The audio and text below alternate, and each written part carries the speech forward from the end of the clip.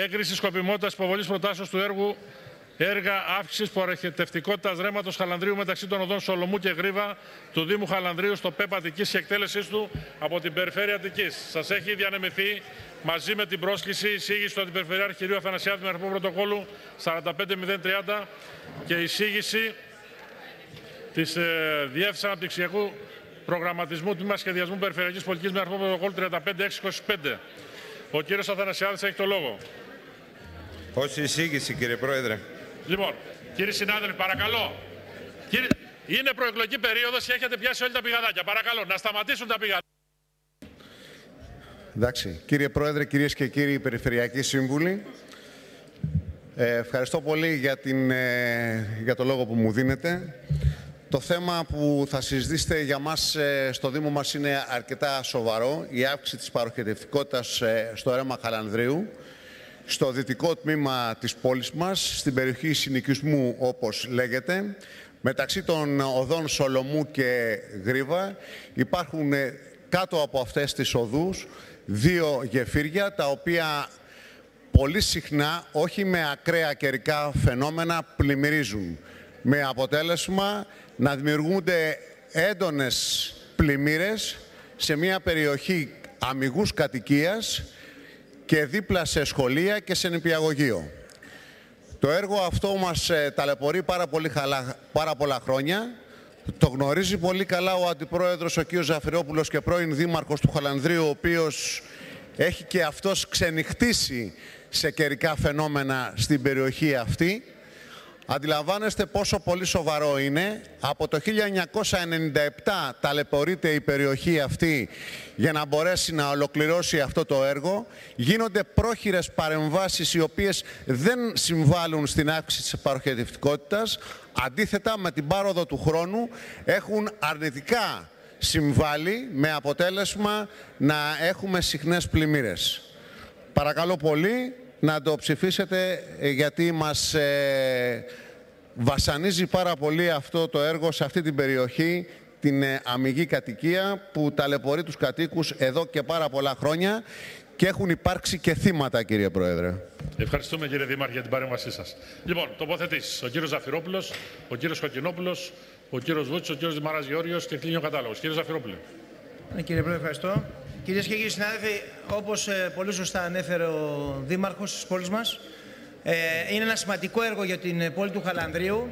Ιστορικά να αναφέρω και να προσθέσω σε αυτά που είπε ο Δήμαρχος ότι στο παρελθόν είχαμε πραγματικά θύματα κατά περιόδους από το σημείο εκείνο το οποίο βρίσκεται σε ένα γεφύρι κοντά και μάλιστα ακριβώς δίπλα υπάρχει σχολείο και υπάρχει ένα σοβαρό πρόβλημα με, την, ε, με τα πρανή στο σημείο το συγκεκριμένο, διότι λόγω της πίεσης που δέχεται ο αγωγός που ξεκινάει από εκείνο το σημείο, ο κλειστός αγωγός, δημιουργείται σοβαρή διάβρωση με πολύ δυσμενείς επιπτώσεις για την ασφάλεια και της ε, στατικότητας του σχολείου, αλλά και ενός μονοπατιού το οποίο βρίσκεται δίπλα στην ε, Ρεματιά ε, καθώς επίσης ότι ακριβώς για τον ε, λόγο του σοβαρού προβλήματος που υπήρχε είχαμε εγκαταστήσει και ένα ειδικό σύστημα για να παρακολουθούμε την ε, αύξηση των υδάτινων όγκων στην ε, Ρεματιά Χαλανδρίου για να μπορούμε να, να, να θέτουμε σε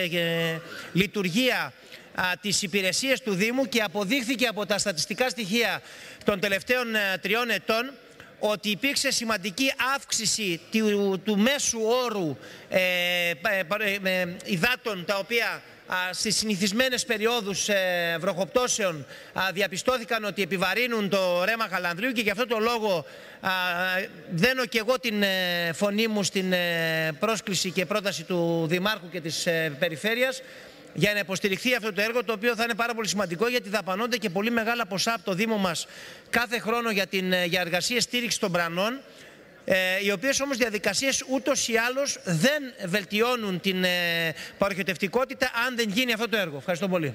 Λοιπόν, ο κύριος Κοκκινόπουλος. Εγώ είναι πολύ σημαντικό που και αν γίνεται. Όμως ε, εμείς θα θέλαμε να ρωτήσουμε μερικά στοιχεία σχετικά με τη μελέτη γιατί πραγματικά ένα αντιπλημμυρικό έργο ξεκινάει κάπου και καταλήγει κάπου. Από ό,τι γνωρίζω, το ρέμα του Χαλανδρίου ξεκινάει ψηλά από το, Χαλάνδρι, από το Χαλάνδρι, από τα Μελίσια ψηλά και κατεβαίνει προς τα κάτω. Θέλω να ρωτήσω, εάν η μελέτη περιλαμβάνει το κατάντητη, δηλαδή εκεί που θα πηγαίνουν τα νερά. Μήπως δηλαδή, δημιουργώντας το έργο το καινούριο, στη συνέχεια, μπουκώσουν τα νερά πιο χαμηλά; Και αν έχει περιληφθεί, αν ο μελετητής έχει μελετήσει το τι θα γίνει παρακάτω, γιατί υπάρχουν και άλλες συνοικίες παρακάτω πέρα από το Χαλάνδρι, δεν είναι έτσι; Βεβαίως ε, είναι σημαντικό το έργο, αλλά θα πρέπει ένα έργο να είναι ολοκληρωμένο. Να περιλαμβάνει ένα πλημμυρικό έργο, θα πρέπει να περιλαμβάνει από την αρχή του μέχρι το τέλος του. Εδώ μιλάμε για ένα κομμάτι. Δεν ξέρω εάν μπορεί ο μελετητής να μας απαντήσει τι θα γίνει παρακάτω, εάν η παροχευτικότητα αυξηθεί και αν θα μπουκώσουν τα νερά και θα πλημμυρίσουν άλλες συνοικίες. Ευχαριστώ. Ο κύριος Βούτσης. Επειδή κανείς δεν μπορεί να αρνηθεί την ανάγκη να υπάρχουν διευθετήσεις αντιπλημμυρικού χαρακτήρα, όπως είπε προηγούμενα και ο κύριος Κοκκινόπουλος, ε, θεωρώ πως θα πρέπει το ζήτημα να επανέλθει προς συζήτηση με πολύ πληρέστερα στοιχεία στην μελέτη, έτσι ώστε να είμαστε σίγουροι ότι το έργο το οποίο θα γίνει θα υπακούει στο φύλλο της εφημερίδας της κυβέρνησης του 1995 που το γνωρίζετε πολύ καλά και που αναφερόταν ειδικά στο ρέμα και στην μελέτη που παρουσιάστηκε εξ όσων γνωρίζουμε από τους ανθρώπους που είναι εκεί, έτσι δεν είναι προσωπική η σχέση, Έχω τη σχετική εισήγηση που είχαν καταθέσει στο Δημοτικό Συμβούλιο για τις επιφυλάξεις και τις αντιρρήσεις που είχαν ως προς το κατά πόσον προβλέπεται πράγματι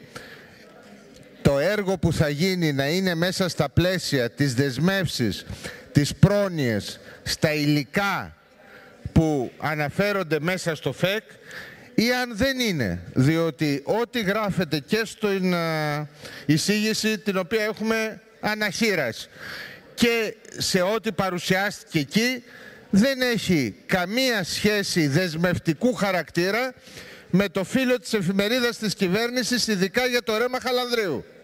Παραδείγματος χάρη ένα μόνο θα σας πω, ότι αναφέρεται κατ' εξαίρεση σε λιθεπένδυτα υλικά, δηλαδή μπετόν με λίθους όμως και ειδικές διαμορφώσεις, που μπορούν να γίνουν, το διάταγμα εννοώ το ΦΕΚ, ενώ στην μελέτη αναφέρεται κανονικότατα για μπετόν, για μπετοκατασκευή δηλαδή, στα πρανή κτλ. Υπάρχει απόσταση. Υπάρχει απόσταση σαφής στην τεχνική περιγραφή που γίνεται για το έργο και ζητείται η ανάληψη της ευθύνης για τη σκοπιμότητά του από το ειδικό ΦΕΚ για τη ρεματιά. Στη βάση αυτή και ενώ και εμείς καταθέτουμε προφανώς τη συμφωνία για τέτοιου τύπου έργα και με τις επιφυλάξεις και τις πρόνοιες που είπε προηγούμενο ο Κοκκινόπουλος επισημαίνουμε επιπλέον ότι όπως έχουμε κάνει και για άλλα έργα παρακαλώ να έρθουν τα επιπλέον στοιχεία της μελέτης που να αποδεικνύουν την αυστηρή εφαρμογή του ΦΕΚ για τη ρεματιά. Αυτό, ευχαριστούμε.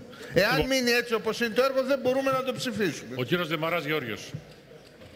Ε, είπαμε τα χρήματα αυτή την περίοδο έχει πολύ μεγάλη σημασία και αν δεν ήξερα το συγκεκριμένο σημείο όπου είχα το γραφείο μου δίπλα για αρκετά χρόνια ε, θα είχα επιφυλάξεις. Πράγματι, ε, εκεί υπάρχει ανάγκη. Η παροχή που έχει σε εκείνο το σημείο τα γεφυράκια και γενικώς ο αγωγός δεν επαρκεί δυστυχώς να καλύψει τα νερά όταν έχουμε βροχοπτώσεις. Ε, γι' αυτό καταλαβαίνω την ανάγκη. Και βεβαίως εμείς έχουμε επιφυλάξεις γενικώς για αντιπλημμυρικά που κατασκευάζονται όταν οι όχθη οι οποίες έχουν ε, δέντρα και τοπική βλάστηση ε, με τα έργα αυτά και με τα τυχεία που κατασκευάζονται ε, μειώνεται πραγματικά το τοπικό οικοσύστημα. Αλλά εδώ δεν πρόκειται για κάτι τέτοιο. Πρόκειται για αγωγό, πρέπει να αυξηθεί η παροχή του. Ε, επικοινώνησα με τεχνική υπηρεσία και με τη διευθύντρια της τεχνικής υπηρεσίας. Ε, ξέρω την ανάγκη. Μου είπε ότι ο, ο αγωγός θα διευρυνθεί σε βάθος για να αυξηθεί η παροχή του και επομένως ε, δεν βλάπτει το περιβάλλον, είναι ανάγκη. Αλλά θέλω να κάνω μια παρατήρηση γενικά. Έχω ζητήσει και στον προϋπολογισμό να κάνουμε μελέτες για τη διαχείριση των νερών της Αττικής. Συνέχεια ο υδροφόρος ορίζοντας υποβαθμίζεται. Συνέχεια αυξάνονται τα νερά, τα όμβρια που πάνε στον Κηφισό.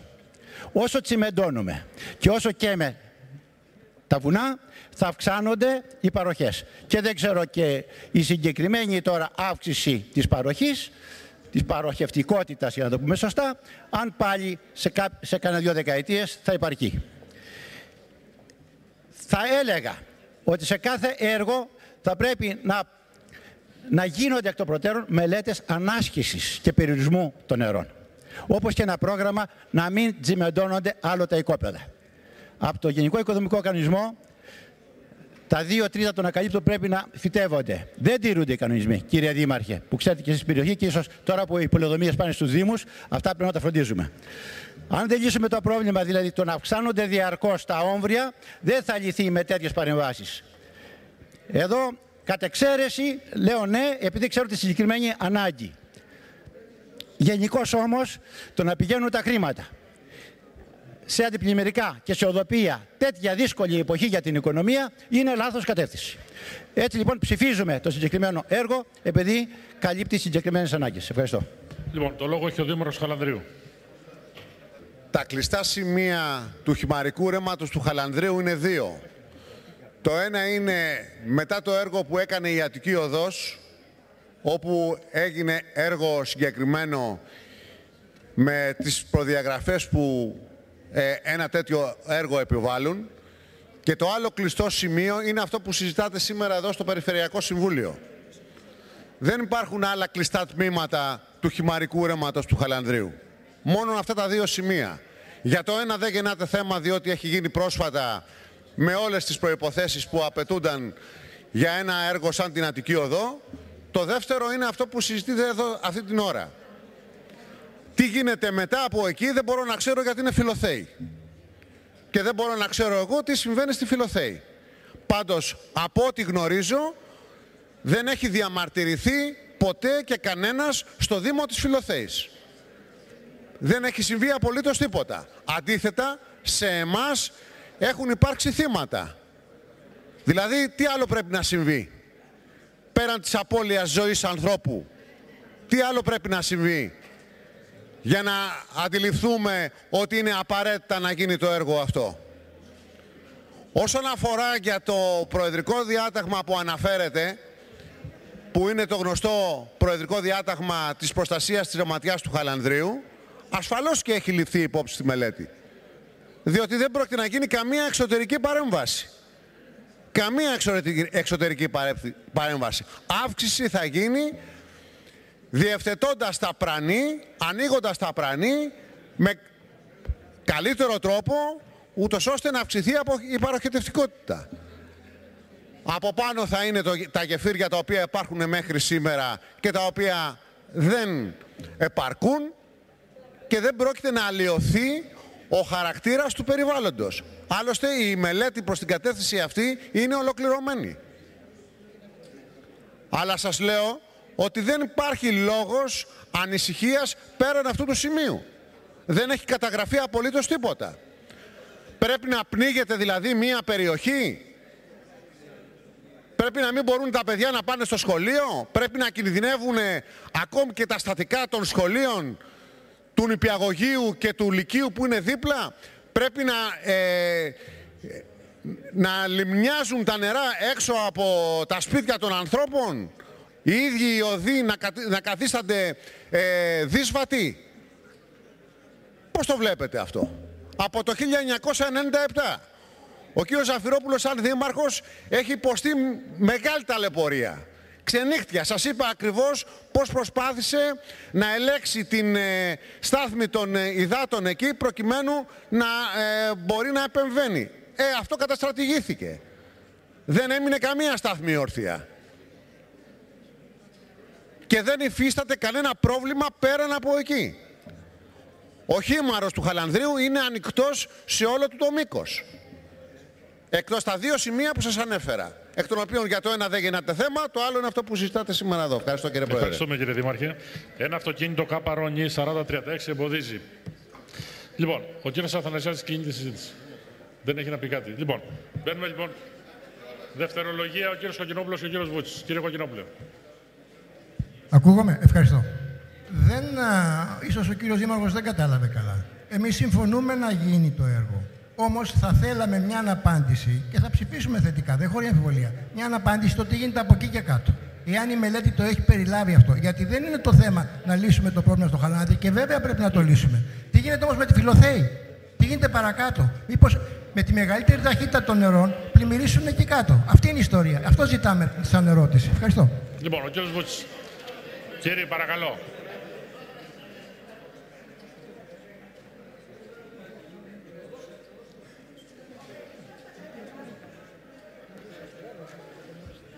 Μ' ακούτε; Ναι, ναι. Λοιπόν. Έκανα μία πρόταση που ενδεχομένως μπορεί και μέσα σε μία εβδομάδα, κύριε Πρόεδρε, εάν να γίνουν αυτές οι ενέργειες, να έρθει το θέμα εδώ και να περάσει ομόφωνα. Η πρόταση ήταν συγκεκριμένη. Πρώτον, να παρουσιαστεί η μελέτη διευθέτησης που αφορά σε όλο το ρεύμα. Δεύτερον, να παρουσιαστεί η γνωμοδότηση του φορέα της διαχείρισης που είναι η Διεύθυνση Ειδικών Έργων Αναβάθμισης του Υπουργείου και τρίτον να βεβαιωθούμε ότι οι πρόνοιες του ΦΕΚ σε σχέση με το λιθεπένδυτο μπετό κτλ. ως προς τη μελέτη έχουν ληφθεί υπόψη. Εάν αυτά έρθουν, τα έχουμε κάνει και σε πάρα πολλά έργα και το ξέρετε. Εάν έρθουν αυτές οι, οι προσθήκες, οι δεσμεύσεις, οι διευκρινήσεις, δεν έχουμε καμία αντίρρηση να το ψηφίσουμε την επόμενη φορά. Περί αυτού πρόκειται. Να πω κάτι. Εάν δείτε στο εισηγητικό, αναφέρεται γιατί το, επειδή το θυμόμουν απλώς, ε, αναφέρεται ότι έχει περάσει από το Περιφερειακό Συμβούλιο Δημοσίων Έργων της Αποκεντρωμένης Διοίκησης, που κατά την, ε, με βάση την εμπειρία μας, σημαίνει ότι αυτά τα οποία πολύ ορθά αναφέρεται, θα έχουν εξεταστεί, θα έχουν συζητηθεί, άρα θα έχει καλυφθεί το κενό αυτό, το οποίο πιθανότατα έτσι όπως έρχεται το θέμα σήμερα ε, λέτε σε σχέση με, το, με, το, με, την, ε, με τους όρους του προεδρικού διατάγματος. Αν μπορούν να προσκομιστούν, και εδώ είμαστε, την άλλη φορά θα το περάσουμε σε ένα λεπτό, σε μία εβδομάδα. Δεν υπάρχει κανένας λόγος άλλος.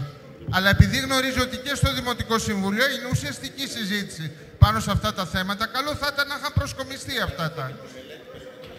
Λοιπόν, ο κύριος Αθανασιάδης κλείνει τη συζήτηση. Κύριε Βούτση, συμπληρώνοντας αυτά που είπε ο κύριος Ζαφυρόπουλος, Υπάρχουν και οι μελέτες περιβαλλοντολογικών επιπτώσεων, υπάρχουν και όλα τα οποία έχουν απαντήσει στο ερώτημά σας περί μπετού και παροχετευτικότητας. Άρα δεν νομίζω ότι υπάρχει ζήτημα και θέμα προκειμένου να αναβληθεί το θέμα. Τώρα, αν μπαίνει για οποιοδήποτε άλλο λόγο, να μας κύριε, το πείτε. Κύριε Αθανασιάδη, με συγχωρείτε. Θα ήταν, θα ήτανε θέμα δύο λέξεων εάν έλεγε ότι η μελέτη θα γίνει σύμφωνα και όλες οι εργασίες με το ειδικό ΦΕΚ για τη ρεματιά. Δεν το λέει πουθενά. Αναφέρεται σε Δεν πεντά άκουσα, κύριε Δήμαρχε, που Ο κάνετε κύριος τη μελέτη. Αθανασιάδης έχει το λόγο. Κύριε Αθανασιάδη. Ναι. Μα δεν θα μπορεί να εκριθεί αυτό, δεν μπορεί να περάσει. Κύριε Πρόεδρε, συνεχίζουμε κανονικά. Λοιπόν, άρα, λοιπόν, κύριοι συνάδελφοι, ολοκληρώθηκε η συζήτηση. Ολοκληρώθηκε η έχω τίποτα συζήτηση. Μπαίνει σε ψηφοφορία το δεύτερο θέμα.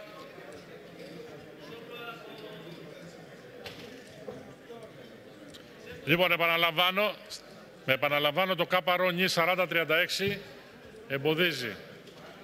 Πάντως, ε, Πρόεδρε, μου επιτρέπετε, συγγνώμη κύριε- για ο την κύριος παρέμβαση. Ζαφυρόπουλος, Απλώς ναι, κύριε επειδή Ζαφυρόπουλος. καλό είναι να μην μένουν σκιές στη συζήτηση του Περιφερειακού Συμβουλίου, εγώ θα ήθελα να επαναληφθεί και από μένα και από οποιοδήποτε εδώ μέσα το εξής, ότι η διαδικασία αυτή που έχει ακολουθηθεί και εφόσον έχει περάσει και από το Συμβούλιο Δημοσίων Έργων της Αποκεντρωμένης Διοίκησης και με βάση και τη μελέτη περιβαλλοντικών επιπτώσεων, αυτά είναι, αντιλαμβάνεστε, οποιοδήποτε τεχνικός, μηχανικός εδώ πέρα μέσα το γνωρίζει αυτό, είναι εκ των νου κάνευ. Αλλιώς δεν μπορεί να προχωρήσει κάτι για να κατευθεί μια πρόταση και σε ένα πρόγραμμα για να κατατύχει χρηματοδότησης. Γιατί αντιλαμβάνεστε, αλλιώς θα μιλάγαμε για κάτι το οποίο θα ήταν έολο και σε οποιαδήποτε ένσταση θα κυρωνότανε. Είναι πολύ σωστό αυτό το οποίο λέτε, και απόλυτα σεβαστό, γιατί γνωρίζουμε και θυμάμαι και εγώ και ο Δήμαρχος στην ευαισθησία και κάποιων συναδέλφων δημοτικών συμβούλων, αλλά θεωρώ ότι λαμβάνεστε ότι οι τεχνικές υπηρεσίες του Δήμου δεν θα πήγαινε να, κατα... να κάνουν μια πρόταση είτε να, να, να, να εκπονήσουν μια μελέτη η οποία δεν θα στηριζόταν σε κάτι τόσο πολύ σημαντικό. Παρένθεση όμως.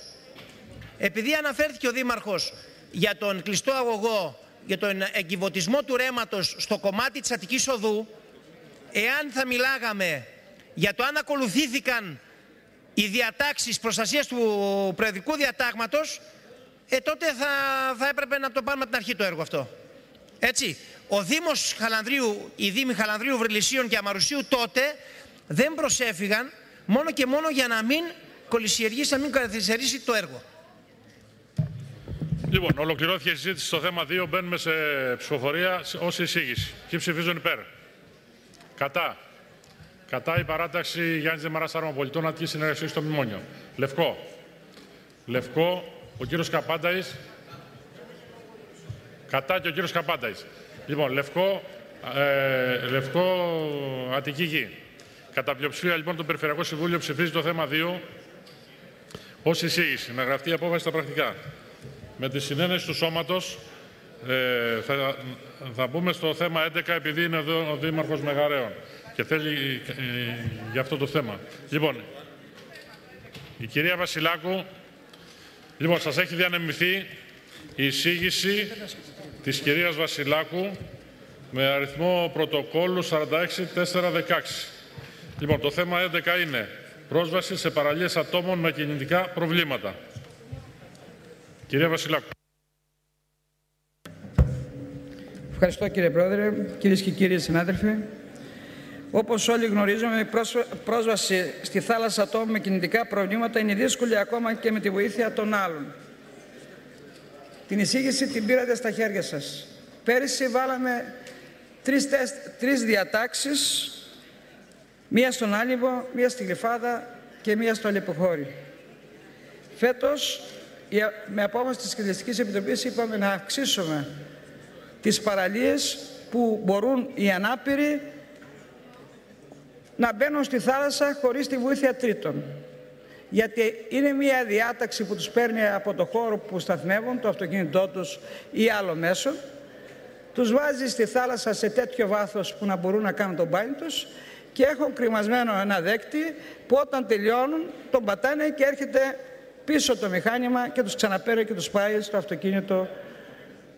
Ε, θέλω να πιστεύω ότι η Περιφέρεια Αττικής πρωτοτυπεί στην Ελλάδα, άρχισε η Αχαΐα, τελείωσε Κύπρος με όλες τις παραλίες τους. Πέρυσι μόνο είχαμε τη δυνατότητα τρεις, γιατί δεν υπήρχε δυνατότητα από το Πανεπιστήμιο Πατρών που κατασκευάζεται αυτή η διάταξη να κάνουν περισσότερες. Φέτος προτείνουμε 7. Τη σκοπιμότητα σήμερα παίρνουμε, γιατί όλα τα άλλα θα έρθουν ε, μέσω της διαδικασίας της Οικονομικής Επιτροπής και το διαγωνισμό αυτό επειδή οι 7 με βάση τα περσινά δηλαδή ε, χρήματα είναι γύρω στις 200.000 ευρώ και θα πάνε και στο ελεκτικό συνέδριο προς έλεγχο. Λοιπόν, υπάρχει αντίρρηση σε αυτό το θέμα; Ε, να διορθώσω, ναι. κύριε, ε, κύριε Πρόεδρε, να διορθώσω ότι η Μαραθώνα Μάκρη θα μπει στη Νέα Μάκρη. Είναι ένας δήμος. Θα μπει ε, στην Κερατέα, στη Λούτσα, στην Γλυφάδα, στη Σαλαμίνα, στην Κινέτα και στο Πόρτο Ράφτη. Εάν θέλετε κάτι άλλο, μπορώ να σας απαντήσω. Μισό λεπτό. Άλλα από αυτά που λέτε. Μισό λεπτό. Όχι, είναι μαραθώνα μάκρη, είχα δύο. Είχα δύο. Ακριβώς είναι ένα, μπαίνει στη Νέα Μάκρη, κερατέα, ε, αντίορροπο, Λούτσα, Λούτσα, Γλυπάδα, Σαλαμίνα, Κινέτα, Πορτοράφτη. Έξι θα μπουν δηλαδή. Εφτά. Το... Ένα, δύο, τρία, τέσσερα, πέντε, έξι, εφτά. Ποιο είναι το έβδομο; Μάκρη, Κερατέα, Λούτσα 3, Γλυφάδα 4, Σαλαμίνα 5, Κινέτα 6 και Πορτοράφτη 7. Λοιπόν, ναι, είναι αντί οροπού, είναι ε, πόρτο ράφτη. Να κάνω μια ερώτηση. Ε, Καταρχάς, κανένας δεν αμφισβητεί ότι χρειάζεται να γίνουν αυτές οι προμήθειες για τα άτομα αυτά. Ε, με ενδιαφέρει το εξής. Επειδή αυτό αναφέρεται είναι μια πατέντα από το Πανεπιστήμιο Πατρών, έχει κατοχυρωθεί κλπ. Υπάρχουν στην ελεύθερη αγορά άλλα αντίστοιχα ε, συστήματα τα οποία είναι φτηνότερα ένα και δεύτερον υπάρχουν οι αντίστοιχες διασφαλίσεις ποιότητας για τα μηχανήματα αυτά; Αυτά είναι μηχανήματα τα οποία κατασκευάζει μόνο το Πανεπιστήμιο Πατρών. Στο εμπόριο δεν υπάρχει. Εμείς βέβαια θα το βγάλουμε σε διαγωνισμό. Αλλά είναι σίγουρο ότι η πατέντα αυτή είναι κατοχυρωμένη στο Πανεπιστήμιο ε, Πατρών. Έχει περάσει έχει δημοσιευθεί στο δικό δελτίο βιομηχανικής ιδιοκτησίας του ΤΕΦΚΟΣ Α, Ευρασιτεχνίας, το Φλεβάριο του 2011. Έχει κατηγορηθεί η πατέντας σε αυτούς. Από εκεί και πέρα, λοιπόν, σαφώς υπάρχουν τα, αυτές οι ράμπες που κατασκευάζουν που και κατασκεύαζαν οι Δήμοι οι οποίες είναι ή με μπετόν τσιμέντο και φτάνουν μέχρι την παραλία αλλά αυτό το είδος τις διατάξεις μόνο το Πανεπιστήμιο Πατρών τις κατασκευάζει. Και άλλη μια ερώτηση να κάνω. Και άλλη μια ερώτηση ο κύριος Ζαφρόπουλος. Ε, εμείς αγοράζουμε και το παραχωρούμε τη χρήση στους Δήμους. Υπεύθυνος για, σε περίπτωση αστικής ευθύνης ποιος είναι για... Ναι. Τις παραχωρούμε στους Δήμους και έχουν και τη δυνατότητα της φύλαξης και της αποσυρωμολόγησης στο τέλος της περίοδου. Λοιπόν, κυρία Βασιλάκου, μισό λεπτό, να επαναλάβουμε λίγο γιατί εγώ για να γράψουμε σωστά την απόφαση. Μισό λεπτό. Κυρία Βασιλάκου, παρακαλώ επαναλάβετε τις τοποθεσίες. Η τοποθέτηση Νέα Μάκρη, Κερατέα, Λούτσα, Γλυφάδα, Σαλαμίνα, Κινέτα, Πορτοράφτη κατόπιν αποφάσεως και των διοικητικών συμβουλίων των Δήμων. Λέει, ο ροπός, τι είναι ο ροπός; Διορθώθηκε κύριε Πρόεδρε. Ναι, Μάκρη, τα έχετε στα. Εντάξει, τα έχεις σημειώσει, εντάξει. Λοιπόν, υπάρχει αντίρρηση. Μπαίνουμε λοιπόν σε ψηφοφορία σύμφωνα με την εισήγηση. Α, συγγνώμη, ο κύριος Δήμαρχος. Συγγνώμη κύριε Δήμαρχε. Ο κύριος Μαρινάκης, ο Δήμαρχος Μεγαρέων.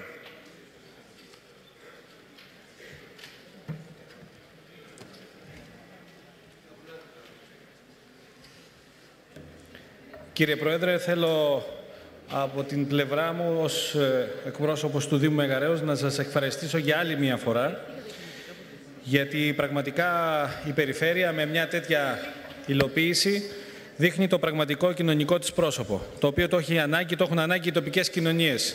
Όπως φάνηκε και στο εγχείρημα που έγινε στην παραλία Λεποχωρίου, το οποίο ήταν απόλυτα επιτυχημένο, έτσι και εδώ τώρα, στην Κινέτα, σε μια πολυσύχναστη παραλία, θα, έχουμε τη δυνατότητα, θα έχουν τη δυνατότητα άτομα με ειδικές άτομα με ειδικές ανάγκες να εισέλθουν και να ικανοποιήσουν κάτι που δεν μπορούσαν να το κάνουν μέχρι πρότινος. Θέλω να ευχαριστήσω ιδιαίτερω τον ε, Περιφερειάρχη, την ε, Αντιπεριφερειάρχη, την κυρία Βασιλάκου, αλλά και πολύ θερμός την κυρία Δήμου που γνώριζε το θέμα, γνώριζε το πρόβλημα, έσκυψε πάνω στο πρόβλημα και τώρα δίνουμε μία λύση προσφέροντας μέσα στην κοινωνία μας τέτοιου είδους ανακουφίσεις που τις έχει ανάγκη τόσο η τοπική όσο και η ευρύτερη. Σας ευχαριστώ ιδιαίτερα. Και εμείς ευχαριστούμε κύριε Δήμαρχε. Λοιπόν, ολοκληρώθηκε η συζήτηση στο θέμα 11. Μπαίνουμε σε ψηφοφορία ως εισήγηση. Ποιοι ψηφίζουν υπέρ; Κατά, λευκό, ομόφωνα το Περιφερειακό Συμβούλιο ψηφίζει το θέμα 11 ως εισήγηση. Να γραφτεί απόφαση στα πρακτικά. Επανερχόμαστε στο θέμα 3. Έγκριση σκοπιμότητας υποβολής προτάσεω του έργου Αντιπλημμυρικά έργα περιοχής Ορού, Δήμο Μαρουσίου στο ΠΕΠ Αττικής και εκτέλεσής του από την Περιφέρεια Αττικής. Στο θέμα 3 σας έχει διανεμηθεί η εισήγηση του κυρίου Αθανασιάδη με αριθμό πρωτοκόλλου 45030 και η εισήγηση τη Διεύθυνση Αναπτυξιακού Προγραμματισμού με αριθμό πρωτοκόλλου 21458. Ο κύριος Αθανασιάδης έχει το λόγο. Ω εισήγηση, κύριε Πρόεδρε. Υπάρχει αντίρρηση στο θέμα; Λοιπόν, τοποθετής. Ο κύριος Αθανασίου, ο κύριος Κοντινόπουλο, η κυρία Καραίνδρου. Όχι, συγγνώμη. Λοιπόν, κλείνει ο κατάλογος. Κύριε Αθανασίου, έχει το λόγο. κάτω για να μην μου λες πίσω μου έχω σατανά. Χρειάζεται και λίγο χιούμορ. Εγώ κύριε Αντιπεριφερειάρχα ερώτημα ήθελα να κάνω. Αλλά δεν κάνω ερώτημα γιατί η απάντησή σας θα είναι πολύ πολιτικοποιημένη για να με πείσει απολύτως. Και μέσα σε δύο λεπτά θα σας πω το εξής. Το υπαριθμόν 2, ΠΕΠ Χαλάνδρη. Το υπαριθμόν 3, ΠΕΠ Μαρούσι. Γιατί Χαλάνδρη και Μαρούσι και όχι μια άλλη περιοχή που να πνίγεται; Πώς τις διαλέγουμε αυτές τις περιοχές για να δίνουν χρήματα από το ΠΕΠ; Αυτό θα ήθελα κάποιος να μου το πει. Υπάρχει προγραμματισμός ή δεν υπάρχει; Και μάλλον δεν πρέπει να υπάρχει προγραμματισμός. Να προλάβουμε, όποιος προλάβει πρώτος, να δώσουμε λεφτά, να δείξουμε ότι η απορροφητικότητα είναι υψηλή. Και θα αναφέρω μια λεπτομέρεια που είναι σημαντική. Μαραθώνας Λούτσα. Μαραθώνας, ε, ο Δήμος Μαραθώνας στα μάτια στο μυαλό μου ποιο είναι; Ο... Ναι, αμάκρη ρε παιδί μου, ναι. Τα έχω πει και μαζί της. Ο Δήμαρχος δεν πολύ συμπαθεί το Μαραθώνα. ο Δήμαρχος Νέας Μάκρης. Θα γίνει λοιπόν αυτό το πράγμα για τους ανάπηρους στην ε, Λούτσα. Αυτό μου έφερε στο νου και το εξής, που είναι πάρα πολύ σημαντικό. Εκεί δίπλα υπάρχει ο Σχοινιάς, ο οποίος πνίγεται. Όταν λέμε πνίγεται, εννοούμε πνίγεται. Ποιος ενδιαφέρεται για αυτόν; Στο Δήμο Μαραθώνα ανήκει. Ποιος ενδιαφέρθηκε ποτέ για αυτό το πράγμα; Μάλιστα έγινε το κοπηλατοδρόμιο και κόψαν την πρόσβαση των υδάτων του Σχοινιά, επειδή είναι ορισμένα πράγματα βρώμικα, να πηγαίνουν στην απορροή του κοπηλατοδρομίου. Δεν υπάρχει πρόγραμμα λοιπόν. Όποιος προλάβει, όποιος έχει γνωριμίες, όποιος έχει περισσότερες προσβάσεις και όπως φαίνεται έχει ο Δήμος Χαλανδρίου, όπως φαίνεται έχει ο Δήμος Αμαρουσίου, αυτός παίρνει έργα. Άλλοι δήμοι που δεν έχουν προσβάσεις, δεν έχουν καλές δημόσιες σχέσεις, δεν παίρνουν έργα. Αυτό θέλω να καταγγείλω. Δεν μπορώ να αρνηθώ αν τα ψηφίσω, Υφίσταμαι έναν εκβιασμό. Αλλά κάποτε αυτός ο εκβιασμός θα πρέπει να, να σταματήσει. Αυτό ήθελα να σας πω για να μην καροϊδευόμαστε πολύ συνοπτικά και για το θέμα 2 και για το θέμα 3 και για ολόκληρο το ΠΕΠ το οποίο όσο και αν δεν αρέσει δεν αφορά χρήματα Έλληνα φορολογούμενων. Αφορά ε, χρήματα φορολογουμένων έξι κρατών μελών της Ευρωπαϊκής Ένωσης. Σας ευχαριστώ. Ο κύριος Κωτινόπουλος. Ευχαριστώ κύριε Πρόεδρε. Οπωσδήποτε και το έργο αυτό στην ε, Οδός Σορού στο Μαρούσι είναι ένα έργο αντιπλημμυρικό και πραγματικά α, είναι ένα έργο το οποίο πρέπει να γίνει. Αλλά πιστεύω ότι θα έπρεπε να είχε μελετηθεί ολοκληρωμένο. Α, δηλαδή, η Οδός Σορού ξεκινάει για όσους ξέρουν το Μαρούσι από τα εκπαιδευτήρια του Δούκα και τερματίζει στην α, Κηφισίας. Ένα του κομμάτι είναι εντός σχεδίου. Δηλαδή, από την οδό ημιτού που τον κόβει κάθετα, είναι εντός σχεδίου. Και το έργο προβλέπεται μόνο για αυτό το κομμάτι, το οποίο έχει αναπτυχθεί πάρα πολύ πραγματικά. Για το από πάνω κομμάτι, από την οδού Μεσογείο, είναι ο δρόμος που πηγαίνει στο Σισμανόγλιο μέχρι την οδό ημιτού που κόβει κάθετα τη Σορού, δεν προβλέπεται αντιπλημμυρικό έργο. Γιατί στη μελέτη μέσα λέει το αντιπλημμυρικό έργο θα γίνει μόνο στην περιοχή την εντός σχεδίου. Στην απάνω μεριά υπάρχει ταξική διαφορά. Μένουν φτωχοί αγρότες γιατί έχουν και περιβόλια εκεί, μένουν ε, εργάτες, είναι σπίτια εκτός σχεδίου και είναι και τα μαρμαράδικα τα οποία έχουν μεταφερθεί από, το, από την λεωφόρο Αλεξάνδρας. Στο κάτω κομμάτι έχουν γίνει μεγαθύρια. Λοιπόν, εδώ υπάρχει μια αντίφαση. Εμείς λέμε ναι, να γίνει το έργο, αλλά να γίνει σε ολόκληρη την, την, την, την περιοχή, την οποία την ξέρω καλά και πλημμυρίζει κάθε λίγο και λιγάκι. Ευχαριστώ. Και θέλω απάντηση σε αυτό, γιατί γίνεται μέχρι, από τη μέση και κάτω και όχι παραπάνω. Λοιπόν, ολοκληρώθηκε η συζήτηση στο θέμα 3. Ο κύριος Αθανασιάδης κλείνει τη συζήτηση.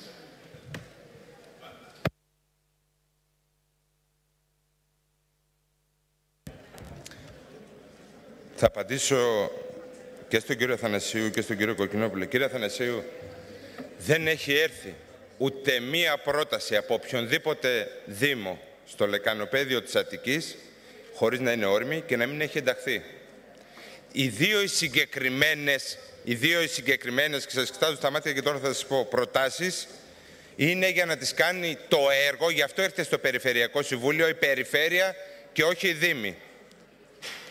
Εννοώ ότι αν θα μπούμε τώρα, αν με αφήσετε να, ολοκλη... αν μας, αν αφήσετε να ολοκληρώσω, καλό θα είναι όταν τελειώσουμε από εδώ να μπείτε στο ΠΕΠ Αττικής, στα αντιπλημμυρικά και εκεί θα δείτε ότι όλη η Αττική και όλο το πρόγραμμα, το συγκεκριμένο με τα αντιπλημμυρικά μέσα, αν δεν με απατάει η μνήμη μου πρέπει να είναι κοντά στα 200 εκατομμύρια ευρώ, είναι σχεδόν όλοι οι δήμοι της Αττικής. Όσο αφορά το ζήτημα του προγραμματισμού ο προγραμματισμός των αντιπλημμυρικών και της αντιπλημμυρικής θωράκης έχει γίνει. Και έχει γίνει όταν πρώτο ήρθε το μεγάλο έργο των 45 εκατομμυρίων ευρώ που ξεκινά τα Μελίσια, τη Μεγάλη Λεκάνη και φτάνει μέχρι το Εγάλεο και βέβαια μένει ένα άλλο κομμάτι που πιάνει από Καλυθέα και κατεβαίνει προς τα κάτω. Όλα αυτά τα μικρότερα τα έργα τα οποία γίνονται έχουν μια κατεύθυνση να θωρακίσουν τους ίδιους τους Δήμους και μετά να πέσουν στο κεντρικό συλλεκτήρα. Τώρα, Δεν δέχομαι με τίποτα την έκφραση δεν, αν υπάρχουν ή όχι προσβάσεις. Με τίποτα. Όλοι μα όλοι οι Δήμοι ανεξαιρέτως και έχουν πάρει επιχορήγηση από το Υπουργείο Ανάπτυξης να ετοιμάζουν και να οριμάζουν μελέτες προκειμένου να προχωρήσουν τα έργα. Να απαντήσω και εντάχει και στον κύριο Κοκκινόπουλε. Πράγματι, έχετε δίκιο προς τα, όταν λέμε για το θέμα επάνω για την αγροτική, όμως την κεντρική κατεύθυνση, το πώς θα γίνει, την έχουν πραγματικά οι οργανισμοί τοπικής αυτοδιοίκησης πρώτου βαθμού. Από εκεί ξεκινάνε οι μελέτες και καταλήγουν σε εμάς. Τον σχεδιασμό δεν μπορεί να έρθει να τον κάνει η περιφέρεια εν ονόματι του Δήμου Αμαρουσίου. Είναι σαν να καταργούμε στο σχεδιασμό των έργων τους ίδιους οργανισμούς τοπικής αυτοδιοίκησης πρώτου βαθμού. Η κυρία Πιπηλή έχεις το λόγο. Ε, λοιπόν, ε, προσήλθαν κατά τη διάρκεια της συνεδρίασης οι κάτωθοι. Τα όσα είπατε σε σχέση με το έργο, να πω όμως και να υπενθυμίσω σε όσους περιφερειακούς συμβούλους είναι στο βόρειο τομέα, αλλά και όσες και όσους έχουν ασχοληθεί, ότι στο Καλάνδρη έχει απορριφθεί να γίνει παιδικός σταθμός αυτή την περίοδο, ακριβώς επειδή δεν ήταν ε, όριμες οι μελέτες για να ενταχθεί στην, ε, στο πρόγραμμα της ε, περιφέρειας και το Χαλάνδρη επίσης, λόγω της θέσης που βρίσκεται, μαζί με τα Βρυλίσια, το Μαρούσι, την Πεντέλ και τα Μελίσια, ακριβώς λόγω των προβλημάτων από τις πυργαγιές στο Πεντελικό Όρος, θα δείτε και άλλα έργα τα οποία προχωράνε αντιπλημμυρικά, που έχουν ένα και μόνο στόχο να, να προστατεύσουν μία περιοχή, ε, αυτή την περιοχή, από, τα, από, τις πολύ αρνητικές συνέπειες της πλημμύρας. Ε, θα ήθελα να παρακαλέσω να μην ε, αφήνουμε υπονοούμενα για διασυνδέσεις και προσβάσεις, γιατί αντιλαμβάνεστε ότι αυτό πληγώνει την ε, λειτουργία μας. Και επειδή όσοι με γνωρίζετε, ξέρετε πάρα πολύ καλά πόσο αντικειμενικός και δίκαιος προσπαθώ να είμαι με τα ανθρώπινα λάθη που μπορεί να κάνω, ε, θα ήθελα σας παρακαλώ πάρα πολύ να, και πιστεύω ότι δεν υπονοούσατε για μένα ότι ε, έπαιξε ρόλο η παρουσία η δική μου στο... Απλώς θα ήθελα κύριε Θανασίου, γιατί είναι, ξέρετε, είναι περίεργη, περίεργη περίοδος και γι' αυτό ζητάω λίγο την ε, διασφάλιση από πλευρά σας για να μην δημιουργούνται σε κάποιες και κάποιους συναδέλφους ερωτηματικά. Σας ευχαριστώ πάρα πολύ. Ο κ. Αθανασίου, δευτερολογών.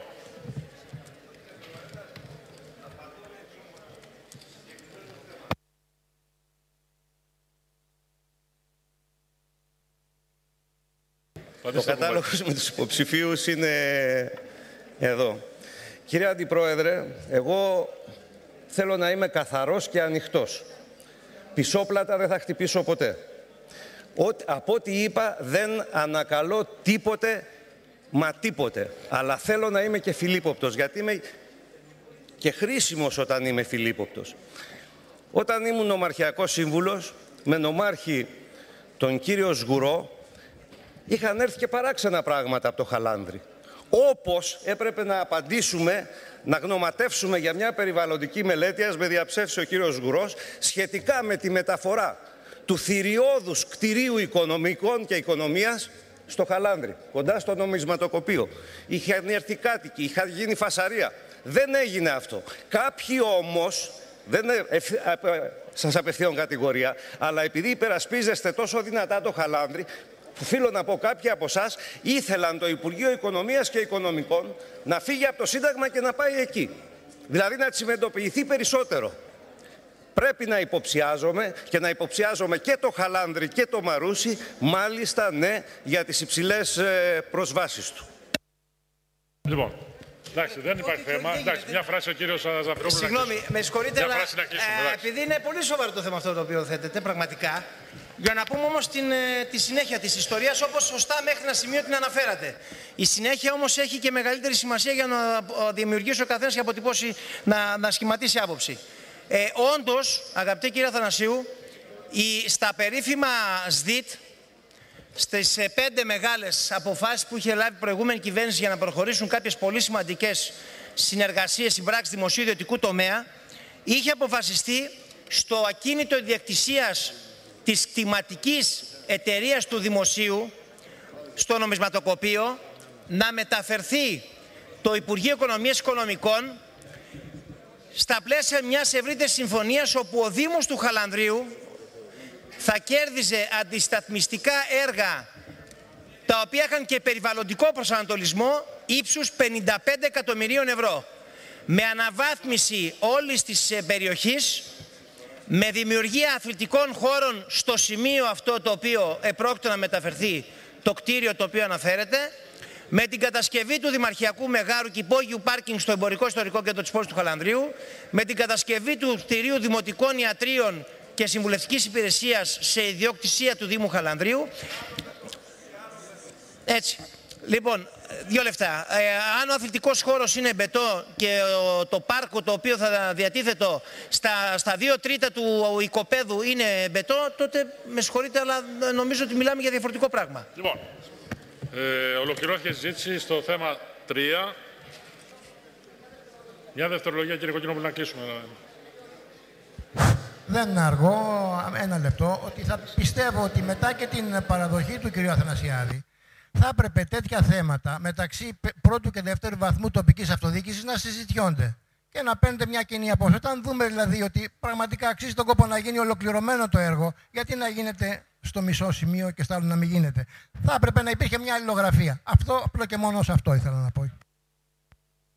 Ολοκληρώθηκε εσείς στο θέμα 3. Παίρνουμε σε ψηφοφορία ως εισήγηση. Ποιοι ψηφίζουν υπέρ; Κατά. Κατά. Και... Απόφαση του Υπερφερειακού Συμβουλίου υπογράψαμε μνημόνια συνεργασίας με 20 μη κυβερνητικές οργανώσεις σε ένα πρόγραμμα που είχε το Υπουργείο Εργασίας το Ευρωπαϊκού και μέσω του Ευρωπαϊκού Κοινωνικού Ταμείου στη δημιουργία θέσεων απασχόλησης μέσω των προγραμμάτων του κοινοφελούς χαρακτήρα. Δεσμευθήκαμε και ενώπιον του Περιφερειακού Συμβουλίου ότι θα είμαστε πλήρως ανοιχτοί και δημοκρατικοί σε όλες τις διαδικασίες εκείνες οι οποίες διαδικασίες θα φέρνανε πρώτα απ' όλα τη διαφάνεια. Στα πλαίσια αυτής της θέσης συνεδρίασε τρεις φορές μία διαπαραταξιακή επιτροπή στην οποία θα ήθελα κιόλας και δημόσια να ευχαριστήσω όσους βοήθησαν έτσι ώστε να καταθέσουμε τη συγκεκριμένη πρόταση τους συναδέλφους εκείνους οι οποίοι με δημιουργικές προτάσεις καταφέραμε σήμερα να φτάσουμε στο σημερινό επίπεδο και στο σημερινό σημείο το οποίο είναι ένα πλήρες πρόγραμμα προκειμένου και κυρίως επιχειρησιακό πρόγραμμα για να υλοποιηθούν αυτές οι αποφάσεις. Θέλω να πω ότι η... σχετικά με την εξέλιξη του προγράμματος, τον Ιούλιο έγιναν, όπως είπα, οι πρώτες υπογραφές των αρχικών μνημονίων. Μέχρι το τέλος του 2012 η περιφέρειά μας είχε υπογράψει όλα τα επικαιροποιημένα μνημόνια συνεργασίας και μέσα στον επόμενο μήνα αναμένονται οι εγκριτικές επιστολές από τον ΑΣΕΠ για να ξεκινήσουν οι διαδικασίες προκήρυξης των 2.871 θέσεων που μας ενέκρινε το Υπουργείο Εργασίας. Και επειδή πολλές φορές μπαίνει και το ερώτημα διανύουμε προεκλογική περίοδο και ίσως από αύριο διαλύεται η, η Βουλή, Θέλω να πω ότι το συγκεκριμένο πρόγραμμα δεν εμπίπτει σε αυτές τις διατάξεις και θα συνεχιστεί κανονικά η διαδικασία γιατί είναι ευρωπαϊκό πρόγραμμα. Οι δράσεις οι οποίες θα υλοποιήσουμε σαν περιφέρεια του Αττικής είναι χωρισμένοι σε πέντε τομείς, σύμφωνα και με το επιχειρησιακό μας πρόγραμμα. Στον τομέα του φυσικού περιβάλλοντος και του πρασίνου, στον τομέα της κοινωνικής μέρημνας, στον τομέα του αστικού περιβάλλοντος, στον τομέα πολιτισμού και στον τομέα της αναγροτικής ανάπτυξης. Ποιοι θα είναι οι ωφελούμενοι αυτού του προγράμματος; Τα βλέπετε πώς θα γίνει και η μοριοδότηση και βέβαια και τις αμοιβές όλων όσων θα προσληφθούν από τις 2.871 θέσεις οι οποίες επαναλαμβάνω θα είναι για πέντε και μόνο πέντε μήνες χωρίς δικαίωμα να, μπορέ, να επιλέξουν και ένα ακόμη πεντάμινο. Η επιλογή σύμφωνα με τα κριτήρια του ΑΣΕΠ θα γίνει όπως βλέπετε με, τη, με δελτίο τύπου στο, και τη διανομή δελτίο τύπου και θέλω να πω ότι στο site της Περιφέρειας Αττικής κάθε φορά που υπάρχει μία προκήρυξη θα είναι αναρτημένη έτσι ώστε ο κάθε δικαιούχος να μπορεί να βλέπει όλα τα στοιχεία για να μπορέσουμε να, μην, να κινητοποιήσουμε και περισσότερους ανέργους. Ποιοι είναι οι στόχοι του προγράμματος; Είναι η ενίσχυση της απασχόλησης των νέων, η ενεργοποίηση των μακροχρόνια ανέργων και ατόμων από ειδικές και κοινωνικές ομάδες και η βολτίωση της αποτελεσματικότητας των πολιτικών της απασχόλησης. Οι, οι προσκλήσεις από, στο πρώτο πίνακα από το Υπουργείο ήταν για 11.000 θέσεις οι προτάσεις οι οποίες κατατέθηκαν ήταν για 43.569 θέσεις και τελικά εγκρίθηκαν από το Υπουργείο 10.584 θέσεις, τις οποίες οι 2.871 είναι για την περιφέρεια και οι υπόλοιπες 7.200 περίπου αφορά τους Δήμους. Και παρεπιπτόντως να πω και εδώ ότι ορισμένοι Δήμοι που είχαν τρέξει τη διαδικασία έχουν ήδη προχωρήσει στην προκήρυξη. Βλέπετε εδώ τις 18, ε, τους, δικαιούχους, ε, τους 18 δικαιούχους φορείς και το τι τους έχει εγκρίνει το Υπουργείο με τα άτομα. Το πληθυσμό ανάλογα με τον τομέα και τις θέσεις που εγκρίθηκαν και βέβαια τα ανάλογα ποσά για να φτάσουμε στο 8.971.000.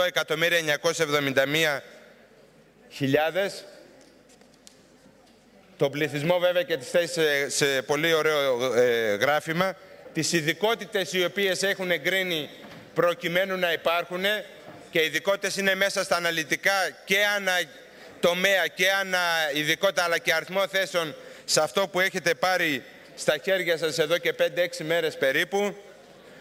Ο, συγκεκριμέ... ο συνολικός προϋπολογισμός του προγράμματος αυτό είναι 36 εκατομμύρια 093.000 και από αυτά τα 8.971.000 875 ευρώ ε, αφορούν την περιφέρεια για να καλυφθούν οι 2.871 θέσεις. Τα οικονομικά στοιχεία τα οποία παρουσιάσαμε και έχουν βέβαια και τη συνεισφορά της περιφέρειας Αττικής και η περιφέρεια μέσα από το προπολογισμό της θα αγοράσει ίδια ατομικής προστασίας και ηματισμού, εργαλεία, γραφική ύλη, υγειονομικό υλικό και προωθητικό υλικό. Οι δράσεις τι, και τι δημοσιότητα θα δοθεί στο όλο το έργο το βλέπετε για να μην μακροηγορούμε και βέβαια τις υποχρεώσεις όλων και κυρίως των συμπράττοντα φορέα ε, να πω εδώ ότι μπήκε το ζήτημα στη διαπαραταξιακή και υπήρχε απόλυτο δίκιο του ελέγχου και των δράσεων αλλά κυρίως της παραγωγής του έργου από τις ε, μη κυβερνητικές οργανώσεις. Στο σημείο αυτό καταλήξαμε σαν μια παραταξιακή επιτροπή, κύριε Διάκο, και δεν με ακούτε και μετά θα πείτε ότι δεν το είπαμε, γιατί και δική σας πρόταση είναι κιόλας αυτή, να δημιουργηθεί μια τριμελής να δημιουργηθεί μια τριμελής επιτροπή η οποία θα παρακολουθεί το έργο ανά τομέα, η οποία θα παρακολουθεί όχι μόνο το έργο αλλά και τις δράσεις τις οποίες παράγουν οι ΜΚΟ και τα άτομα τα οποία απασχολούνται. Και στα πλαίσια αυτής της σκέψης της πρότασης διαπαραταξιακής προτείνω για τον κεντρικό τομέα από, τον, ε, από την πλειοψηφία τον συνάδελφο τον Κώστα τον Αδαμόπουλο ένα συνεργάτη της Αντιπεριφερειάρχης του κεντρικού τομέα και έναν από, και ένα περιφερειακό σύμβουλο από την αντιπολίτευση. Στο βόρειο τομέα τον κύριο Κανελάκη Κωνσταντίνο και αντίστοιχα το, από το γραφείο της του Αντιπεριφερειάρχη και της αντιπολίτευσης. Από τον νότιο τομέα τον κύριο Γιανακάκη Αντώνη και βέβαια το συνεργάτη του Αντιπεριφερειάρχη και από την αντιπολίτευση. Από το δυτικό τομέα την κυρία Ερμίδου Γεωργία με τους ανάλογους. Από τον Πειραιά την κυρία Ματζιώκα, από τα νησιά ένας είναι ο κύριος Βουδούρης βέβαια, από τη Δυτική Αττική τον κύριο Γιαννικάκη Θεμιστοκλή. Και επειδή με παρακολουθεί και η Σταυρούλα Δήμου και έναν συνεργάτη της κυρίας, θα τα συμπληρώσουμε παρακάτω, και ένα άτομο από την αντιπολίτευση. Και από την Ανατολική Αττική τον κύριο Σμέρο Γιώργο μαζί με ένα συνεργάτη της κυρίας Κισκύρα που θα παρακολουθούν όλο το έργο των δράσεων και έναν από την αντιπολίτευση. Κλείνοντας, εν συντομία, θα ήθελα πραγματικά να ευχαριστήσω δημόσια Κύριε Πρόεδρε, δεν ξέρω αν ακούει κανείς. Θα ήθελα να εκφράσω δημόσια τις ευχαριστίες στις τρεις κοπέλες οι οποίες είναι συνεργάτες του Περιφερειάρχη, οι, οποίοι, οι οποίες μάλλον νυχθημερών δουλεύανε και δουλέψανε προκειμένου να φτάσουμε σήμερα στο παραένα και πριν την προκήρυξη. Είναι η Αλεξοπούλου η Δήμητρα, η Μαρκάτου η Έφη και η Μιχαλοπούλου η Σοφία και για οποιαδήποτε απορία, πρόταση, διευκρίνηση υπάρχει από τη μεριά του κάθε Περιφερειακού Συμβούλου. Γι' αυτό αναρτούμε και τα τηλέφωνα της επικοινωνίας στο γραφείο προκειμένου το θέμα της διαφάνειας να είναι ακόμη πιο δυνατό και πιο έντονο. Κύριε Πρόεδρε. Κύριε Θανασιάτη, συγγνώμη, ζητάτε να πάρει απόφαση στο περιφερειακό. Ε; Το πρώτο κομμάτι ήταν ε, ένα ενημερωτικό και ζητάω από το Περιφερειακό Συμβούλιο να εγκρίνει τη σύσταση τριμελών επιτροπών ανατομέα, τρία μέλη ανατομέα που θα ελέγχουν όλο το έργο και τις δράσεις των, ε, των ΜΚΟ τα οποία έχουμε έρθει σε συμφωνία και σε συνεργασία. Υπάρχουν ερωτήσεις; Η εισήγηση όμως είναι αλλιώς. Ενημέρωση είναι. Η εισήγηση είναι λάθος τώρα.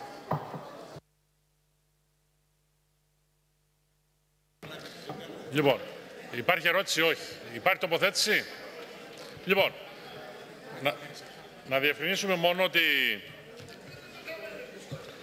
ο κύριος Διάκος. Υπάρχει άλλος ομιλητής; Όχι. Και ο κύριος Βούτσης. Κλείνει ο κατάλογος. Κύριε Διάκο. Πρώτα πρώτα να ευχαριστήσω και εγώ τις κοπέλες ε, οι οποίες δώσανε πραγματικά ε, προς... Ζηλεύει, ζηλεύει, κάτσε Έγινε άμα θέλεις, τι να σου κάνω εγώ τώρα, φταίω εγώ τώρα. Λοιπόν, καταρχάς να, καταρχάς να ευχαριστήσουμε τις κοπέλες που πράγματι δουλέψαν πολύ σκληρά και φτιάξαν όλα αυτά τα στοιχεία και όλα αυτά τα δεδομένα και νομίζω ότι ήρθε εδώ μια αρκετά εμπεριστατωμένη εισήγηση που αφορά το συγκεκριμένο θέμα.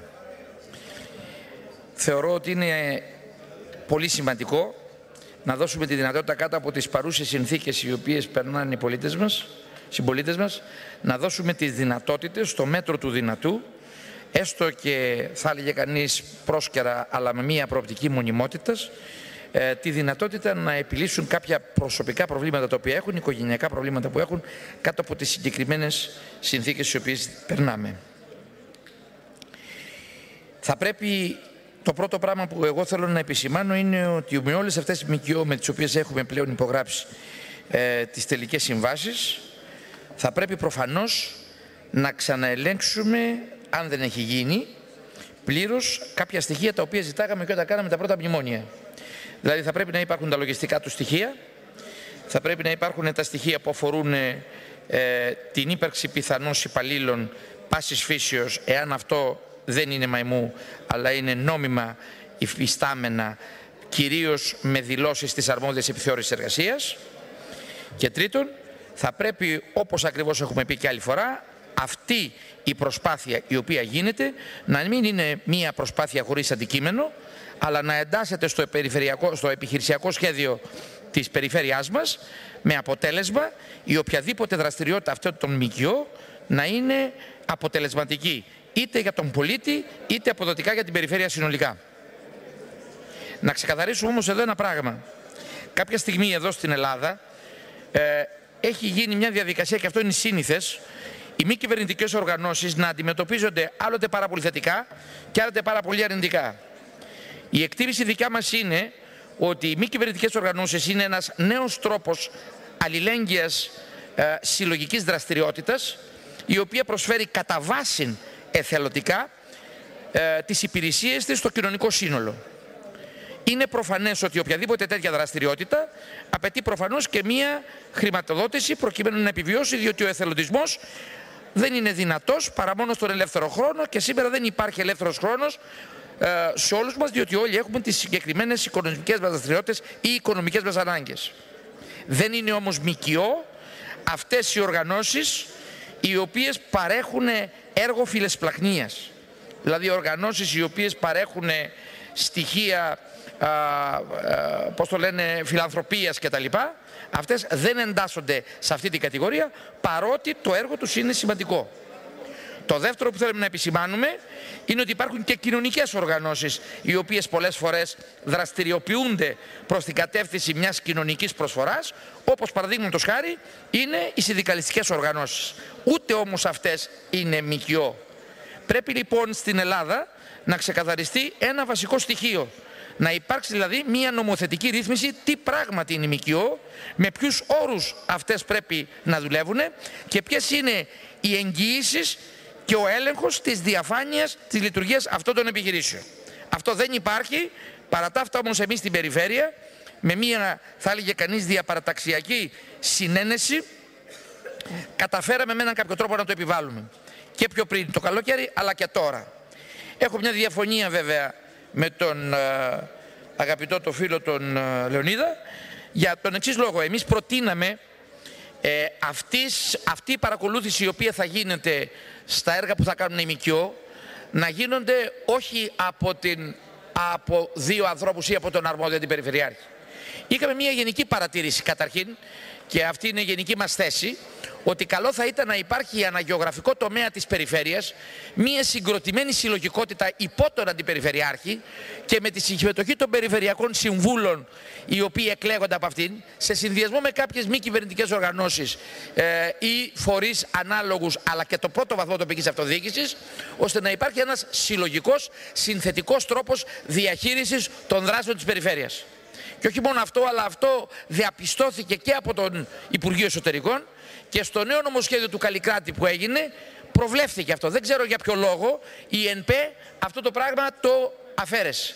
Λέω λοιπόν εδώ εμπροκειμένου ότι και μάλιστα έτσι όπως εκτιμώ τα πράγματα και έτσι όπως πάνε και με τις εκλογές αγαπητέ κύριε Αντιπεριφερειάρχη η σημερινή αντιπολίτευση πιθανόν μετά τις 15 Μαΐου να είναι συμπολίτευση εκτιμώ ότι η επιλογή, η επιλογή του ενός ε, από τη συμπολίτευση και ενός από την αντιπολίτευση η γνώμη μου είναι ότι δεν θα πρέπει να περιοριστεί στις δύο μεγαλύτερες παρατάξεις εδώ πέρα μέσα αλλά να υπάρξει μια αναλογική εκπροσώπηση αναπεριφέρεια προς την κατεύθυνση αυτή.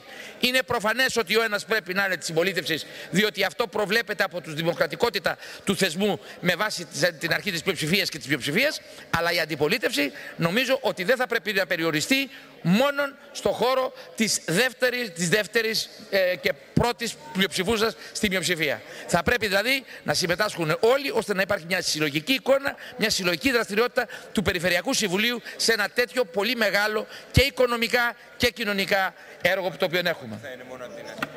Λοιπόν, δηλώστε το αυτό και θα σας... Δηλώστε το. Δηλώστε το, δηλώστε το. Ο κύριος Περιφερειάρχης. Λοιπόν, παρόλο που εμένα δεν μου αρέσουν οι δηλώσεις, αγαπητέ φίλε Κώστα, εγώ να συμφωνήσω ευθύς εξ αρχής, αλλά πρέπει να ξέρεις κάτι. Ότι αυτές είναι δηλώσεις μας και τοποθετήσεις μας από την ημέρα που ξεκίνησε. Και γίναν πολλές επιτροπές, στην οποία εσύ βεβαίως ηρωικά μαχόμενος συμμετέχεις, αλλά πολλοί συνάδελφοι άλλων παρατάξεων που μπήκανε δεν συμμετέχουν. Εμείς την κάνουμε δεχτή την πρότασή σου να μπουν από όλες τις παρατάξεις όπου θέλουν να μπουν. Λοιπόν, κύριε συνάδελφοι, λίγο ησυχία, λίγο ησυχία, το λόγο έχει ο κύριος Βούτση. Μετά. Με, μετά, μετά. Κύριε Βούτσι, έχετε το λόγο. Ε, θα αρκούσε για να υπάρχει δικαιολόγηση της αρνητικής ψήφου να επαναλάβουμε με την δέουσα οικονομία του χρόνου αυτά που είχαμε πει και στην πρωτογενή συζήτηση που είναι στο Περιφερειακό Συμβούλιο. Δηλαδή ότι η αντιμετώπιση της ανεργίας προφανώς και δεν γίνεται μέσα από ελαστικές σχέσεις εργασίας με τετράμινα, πεντάμινα, εξάμινα. Προφανώς δεν γίνεται με ένα ευέλικτο σύστημα πελατειακών σχέσεων και προφανέστατα δεν γίνεται μέσω ΜΚΟ για όσες από τις αρμοδιότητες θα έπρεπε οι Δήμοι και οι βαθμοί τοπικής αυτοδιοίκησης εν γέννη με μόνιμο προσωπικό και με ενεργή απασχόληση να μπορούν να καλύπτουν. Αυτά τα είχαμε πει και εμείς και άλλες ε, παρατάξεις στο Περιφερειακό Συμβούλιο επί της αρχής και είχαμε καταψηφίσει το πρόγραμμα. Επιτρέψτε μου όμως, επειδή ε, δεν πρέπει κάποια πράγματα να περνάνε και ασχολίαστα, να σας πω το εξής. Βλέποντας αυτή την εργασία την οποία οι κυρίες ε, πολύ σωστά έχουν τεκμηριώσει και παρουσιάσει για να ξέρουμε τι μας γίνεται, προκύπτει το ερώτημα, το ζήτημα μάλλον, μήπως κάποιοι τίτλοι ενασχολήσεων είναι προσχηματικοί και ψευδεπίγραφοι, δηλαδή είναι τίτλοι για να υπάρχουν απλώς και αυτοί οι άνθρωποι θα απασχοληθούν αλλού, ένα ερώτημα, ή αν υπάρχουν εξαιρετικά μεγάλες επικαλύψεις με δημόσιους φορείς. Πράγματα και τα δύο απαράδεκτα, κύριε Αθανασόπουλε.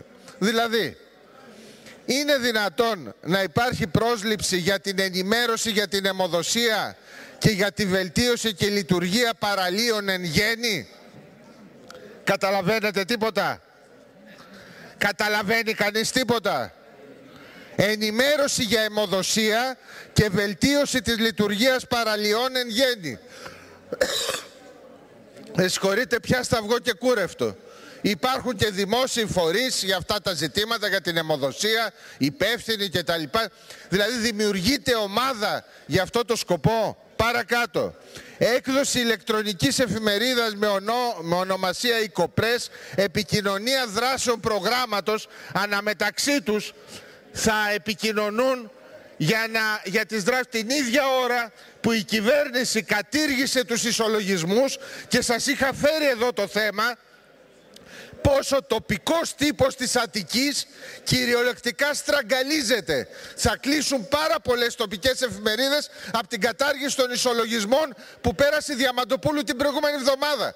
Και εδώ λέμε για, για δημιουργία οικοπρές που θα κάνουν μεταξύ τους μέσω ηλεκτρονικής σελίδας τα λοιπά, δηλαδή να προσλαμβάνονται για αυτή τη δράση. Ύστερα, τομέας πολιτισμού, επειδή μετέχω και σε αυτή την πολύπαθη ε, Επιτροπή Πολιτισμού.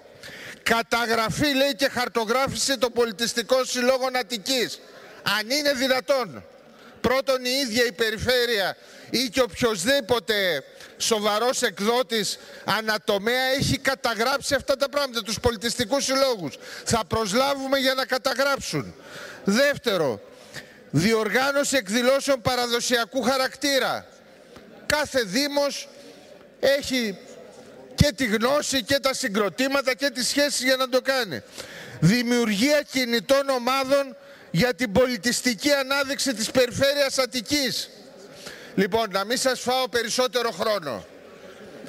Τα μισά από αυτά που αναφέρονται εδώ, επειδή προφανώς δεν είναι ηλίθιοι οι άνθρωποι που τα γράψανε και οι ΜΚΟ και τα λοιπά, είναι προσχήματα και προσωπία για να πάρουν αυτούς τους υπαλλήλους οι χυμαζόμενοι δήμοι και να τους βάλουν ή στην καθαριότητα ή κάπου αλλού και τα λοιπά. Περί αυτού πρόκειται.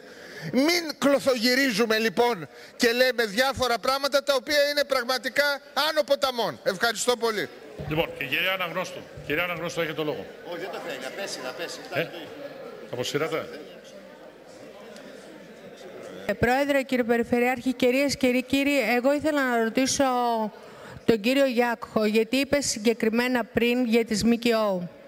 Οι ΜΚΟ δεν ξέρω εάν γνωρίζετε καλά, είναι διαπιστευμένες από το Υπουργείο Εξωτερικών, γιατί δεν είναι απλές ομάδες, ε, κάποιες απλές ομάδες, και τα ονόματά τους βρίσκονται στην Ευρωπαϊκή Τράπεζα, από όπου βγαίνουν και τα χρήματα.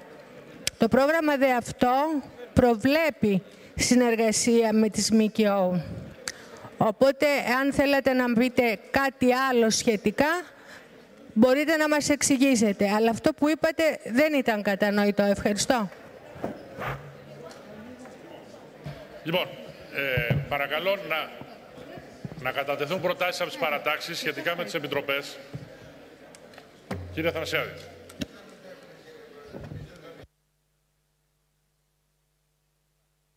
Η παράταξη Γιάννης Δημαράς Αραμαπολιτών είπε ότι δεν συμμετέχει. Κύριε Θανασιάδη, έχει το λόγο. Ναι, κύριε Πρόεδρε, γίνεται δεκτή, όπως είπαμε και η πρόταση και του κυρίου Διάκου, έτσι, να θα συμπληρωθεί από όλες τις παρατάξεις από σε όποια ενότητα θέλουν και από ένα και από δύο άτομα. Δεν έχουμε κανένα τέτοιο θέμα όσο αφορά στο ζήτημα της διαφάνειας.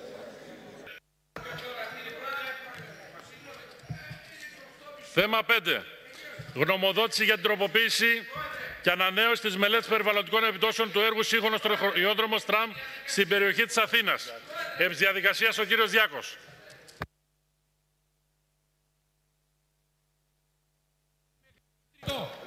Έχουμε ακόμα 8 θέματα ημερήσιας διάταξης, μερικά από τα οποία είναι και ιδιαίτερο σοβαρά, δεν είναι λαϊκές αγορές ή οτιδήποτε άλλο. Δεν είναι δυνατός όσο ώρα να συνεχίσουμε αυτή τη συνεδρίαση, διότι δεν θα τελειώσουμε ούτε στις 12 το βράδυ. Λοιπόν. Προτείνω λοιπόν, προτείνω λοιπόν διαδικαστικά να υπάρξει μία διακοπή της σημερινής συνεδρίας στο σημείο αυτό, τα θέματα της παρούσας ημερήσιας διάταξης να πάνε την Τρίτη του Πάσχα και να προσθεθούν και οποιαδήποτε άλλα θέματα ήθελε προκύψει εντωμεταξύ. Λοιπόν κύριε, πάρα πολύ ώρα ακόμα. Δεύτερον, τα θέματα των πολιτών πρέπει να τα προχωράμε. Είναι εξάωρη συνεδρίαση από τον κανονισμό. Δεν, δεν τις έχουμε φτάσει λοιπόν.